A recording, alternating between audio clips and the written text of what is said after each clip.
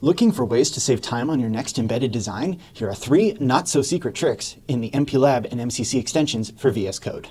First, notice the Content Manager in the top right of the Melody and Harmony menus. It opens a menu for updating and version controlling device and peripheral drivers, keeping your project libraries organized and current or standardized to specific drivers.